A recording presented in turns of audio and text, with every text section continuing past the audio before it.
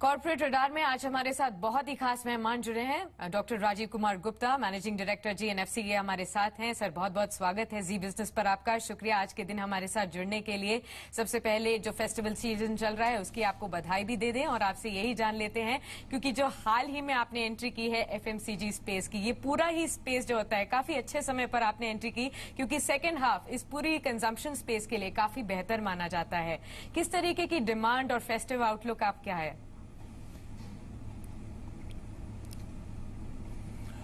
देखिए जीएनएफसी मूलतः एक फर्टिलाइज़र केमिकल्स और पेट्रोकेमिकल्स कंपनी है।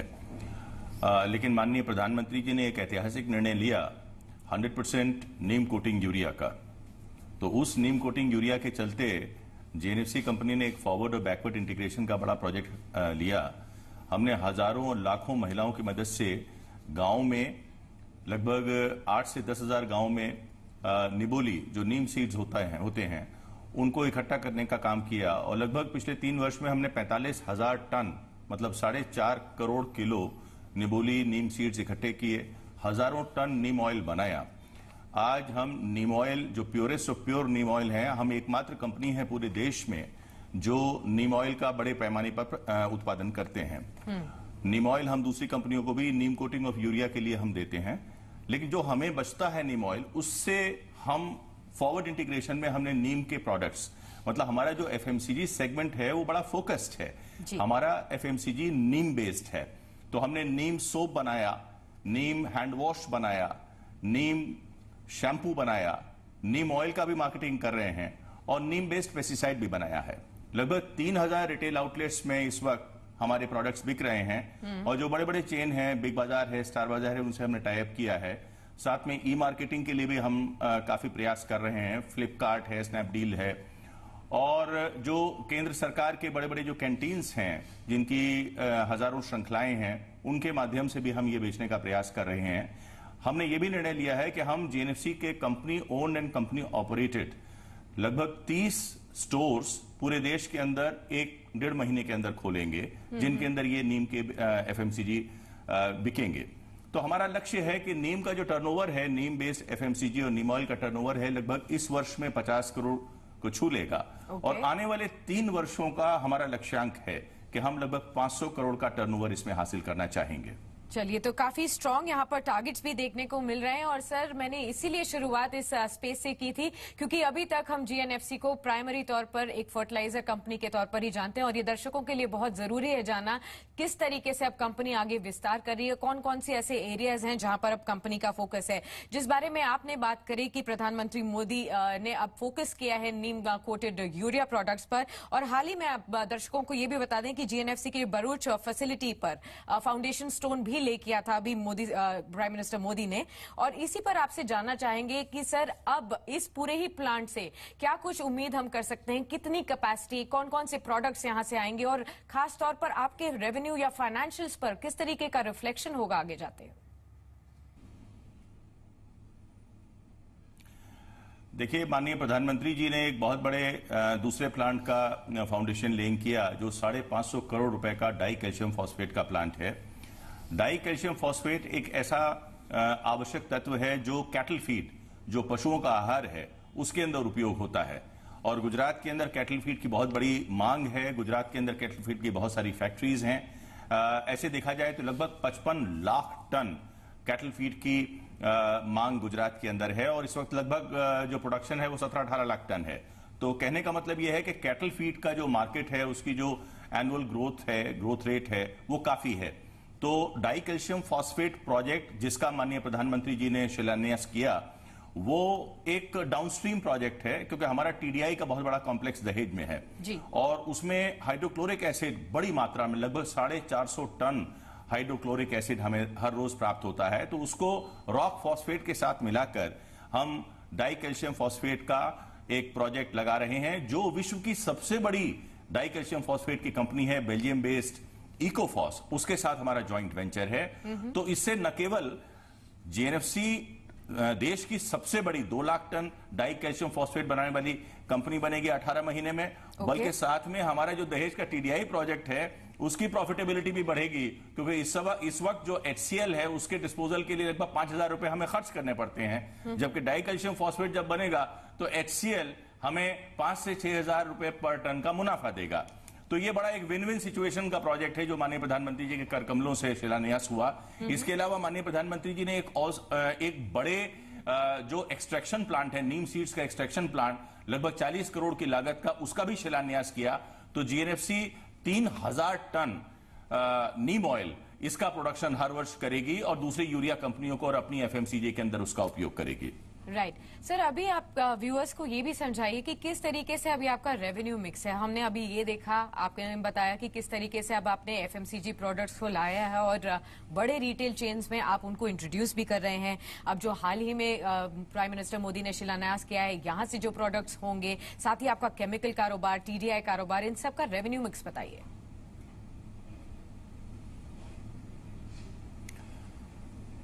देखिए जीएनएफसी कंपनी आज से 40 वर्ष पहले जब स्थापित हुई थी तो मुख्यतः ये कंपनी एक फर्टिलाइज़र कंपनी थी। लेकिन धीरे धीरे धीरे धीरे केमिकल्स और पेट्रोकेमिकल्स के काफ़ी प्लांट लगभग 20 जितने 20 प्लांट्स लगाए गए, जिसमें formic acid acetic acid methanol ethyl acetate और W N A C N A concentrated nitric acid ये सब प्लांट्स बने। तो आज की तारीख में फर्टिलाइज़र हम बनाते हैं, लगभग सात लाख टन यूरिया हम बनाते हैं और दो ढाई lakh tonne ammonium nitrate phosphate बनाते हैं लेकिन लगभग डेढ़ मिलियन टन हम केमिकल्स और पेट्रोकेमिकल्स बनाते हैं। तो रेवेन्यू मिक्स में इस वक्त जो ज़्यादा झुकाव है वो केमिकल्स एंड पेट्रोकेमिकल्स में है। फर्टिलाइज़र एक किसानों के लिए चीज़ है और जिसको केंद्र सरकार सब्सिडाइज करती है। तो वो हमारा मुख्य बिज़नेस है और उस लक्ष्य से हम कभी आ, आ, विचलित नहीं होते हैं। लेकिन साथ में कंपनी को प्रोग्रेस करने के लिए उसको आगे बढ़ाने के लिए केमिकल्स और पेट्रोकेमिकल्स का धीरे धीरे विकास हो रहा है। हम देश में ही नहीं साउथ ईस्ट एशिया में सबसे बड़ी कंपनी है टोलिन डाई आइसोसाइनेट बनाने वाली। और जिसका बड़ा फास्ट एक्सपेंडिंग मार्केट है जो विश्व के अंदर सिर्फ़ तीन चार देशों के अंदर पैदा होता है और पीयू फोम के अंदर इसेंशियल इंग्रीडियंट होता है। आज की तारीख में हमारा लगभग छियासठ जितने देशों में टीडीआई निर्यात होता है और इससे काफ़ी अच्छे रेवेन्यूज आते हैं। आज की तारीख में विश्व के अंदर बड़ी ज़बरदस्त मांग है। पूरे अफ्रीका के कॉन्टिनेंट के अंदर हम लगभग 40 देशों में ये टीडीआई का निर्यात करते हैं और कुछ मार्केट में से समाचार आ रहे हैं कि यूरोप की कुछ कंपनियाँ हैं जो टीडीआई बनाती थी। उनके यहाँ बड़े सीरियस क्वालिटी के इश्यूज़ खड़े हुए हैं। तो अब हम यूरोप के मार्केट को भी धीरे धीरे कवर करने की कोशिश करेंगे। ऑल राइट तो एक्सपेंशन बड़े तौर पर हो रहा है और अब बड़े डेवलप्ड मार्केट्स में भी कंपनी की जाने की योजना है। सर जैसे जैसे आपसे बात कर रहे हैं, आपको ये भी बता दें कि जीएनएफसी का शेयर जो है दिन के उच्चतम स्तरों पर पहुँच गया है। साढ़े तीन परसेंट ऊपर इस वक्त कामकाज कर रहा है। लगातार पिछले दस दिनों में हमने देखा है, इस शेयर में लगातार तेज़ी देखने को मिली है और बीते एक साल का भी अगर आप परफॉर्मेंस देखेंगे तो सौ से ज़्यादा रिटर्न जीएनएफसी ने अपने शेयर होल्डर्स को दिया भी है। सर, इसी तरीके की स्ट्रांग परफॉर्मेंस कंपनी के फंडामेंटल्स में भी हमने देखी है और आपसे यही जानना चाहते हैं कि एफ़ वाई के लिए अब टॉप लाइन और बॉटम लाइन आउटलुक आपकी तरफ़ से क्या है? कुछ इंटरनल टारगेट्स अगर आपने सेट किए हैं। साथ ही हमने ये भी आपसे सुना है कि एफ़ वाई एटीन तक एक ज़ीरो डेट कंपनी बनने की आपकी अनुमान है। तो क्या वो भी लक्ष्य पाएँगे आप पूरा कर पाएँगे एफ़ आई एटीन तक? देखिए ये मैंने बार बार कहा है और आ, मेरी एजीएम के अंदर भी मैंने कई बार कहा है। आपके दर्शकों के माध्यम से भी मैं ये बताना चाहूँगा कि देखिए हम एक गवर्नमेंट कंट्रोल कंपनी है। हम किसानों के हित में काम करते हैं और हम देश के लिए इंडस्ट्रियल प्रोडक्शन जो है केमिकल्स और पेट्रोकेमिकल्स का वो बढ़ाते हैं।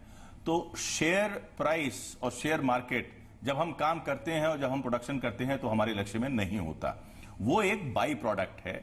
वो एक मार्केट का परसेप्शन है कि कंपनी की जो स्ट्रांग उसके फंडामेंटल्स हैं और कंपनी जो प्रोग्रेस कर रही है उसके रिस्पांस में शेयर मार्केट या आपके जैसे बड़े बड़े एनालिस्ट जो है वो रिएक्ट करते हैं लेकिन हमारे केंद्र बिंदु में कभी शेयर प्राइस नहीं होता है हम्म। लेकिन साथ में कंपनी की जो रेटिंग है इंटरनल रेटिंग वो क्रिसिल और इकरा दोनों ने बढ़ाई है जी। आ, हम लोगों का लक्ष्य ये है कि हमारे जो लॉन्ग टर्म डेट्स हैं वो आठ सौ अट्ठासी करोड़ थे पिछले वर्ष के अंत में। और हमारा वर्किंग कैपिटल एक्सपोजर लगभग 1100 करोड़ था।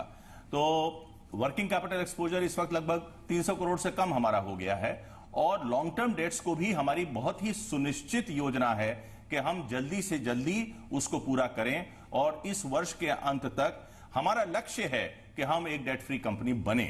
और उस लक्ष्य की तरफ़ बहुत ही हम निश्चित एक स्ट्रैटेजी के साथ में आगे बढ़ रहे हैं। बिल्कुल। सर, आपके प्रोडक्ट्स की अगर बात करें तो ज़्यादातर प्रोडक्ट्स प्रीमियम सेगमेंट में है। तो यहाँ से जाना चाहते हैं कि किस तरीके के मार्जिन अभी आप एंजॉय करते हैं और आगे जाते हुए मार्जिन पिक्चर कैसी लग रही है?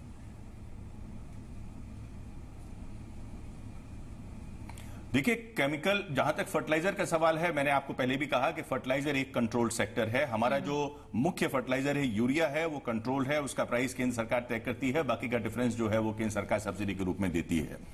तो उसमें से बहुत ज़्यादा मार्जिन कोई भी फर्टिलाइज़र एक कंपनी एक्सपेक्ट नहीं कर सकती है। एएनपी अमोनियम नाइट्रेट फॉस्फेट वो मार्केट बेस्ड है लेकिन चूँकि किसानों के हित में है तो कंपनी उसको एक मिनिमम मार्जिन लेकर ही मार्केटिंग करती है। हम्म। तो फर्टिलाइज़र सेगमेंट के अंदर एक लिमिटेड मार्जिन होते हैं लेकिन केमिकल सेगमेंट के अंदर जो पिछला ट्रेंड है पिछले दो महीने का वो बहुत ही बड़ा सुनिश्चित अपवर्ड ट्रेंड है।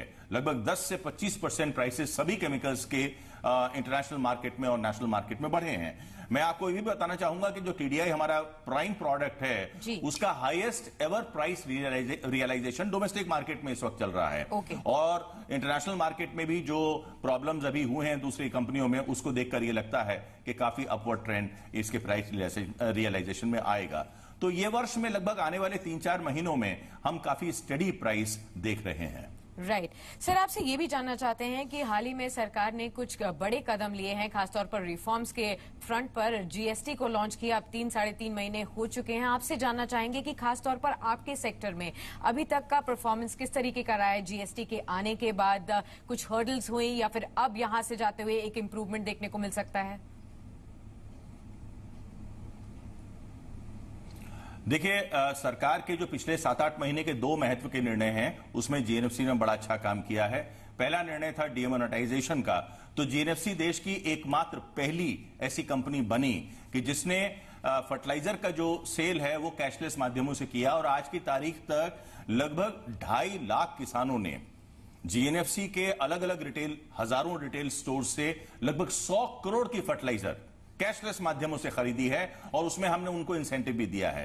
तो कैशलेस जो ट्रांजेक्शन हैं और जो एक डिजिटल इकोनॉमी की माननीय प्रधानमंत्री जी की परिकल्पना है, उसमें जीएनएफसी कंपनी ने काफ़ी कुछ काम किया और बड़ी हमें सफलता हासिल हुई। साथ में हमने अपना जो टाउनशिप है, जिसमें लगभग पाँच छह हज़ार लोग रहते हैं दस पंद्रह हज़ार लोग रोज आते हैं, वो पहला कैशलेस टाउनशिप हमने बनाया और अब उसी की तर्ज पर हम जीएनएफसी कंसल्टेंसी दे रहे हैं, मदद दे रहे हैं और लगभग देश के लगभग सौ टाउनशिप हमने इस वक्त लेस कैश अथवा कैशलेस टाउनशिप बनाए हैं।